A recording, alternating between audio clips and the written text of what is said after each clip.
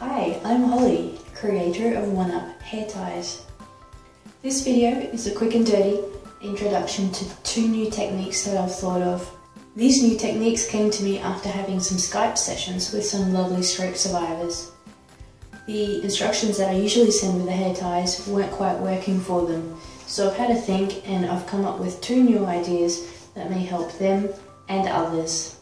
To simulate stroke paralysis, I'm wearing my trusty old man hand. The videos just wouldn't look quite right without um, a hand on. So the first method we're doing is a reverse of my current instructions.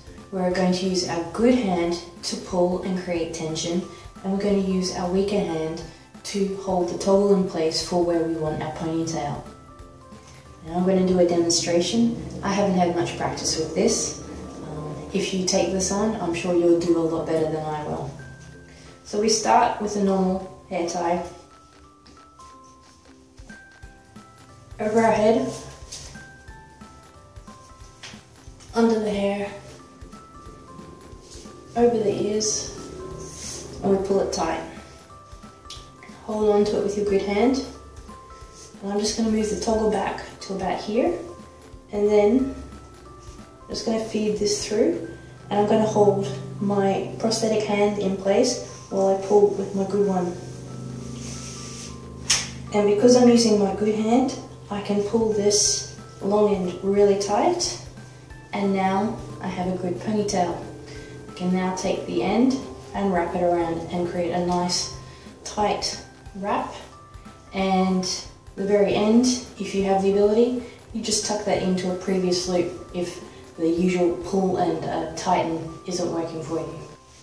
So the second method I'm going to do is um, for those of you that may not be able to get your hand all the way up to the top, we're actually going to use the weaker arm as an anchor.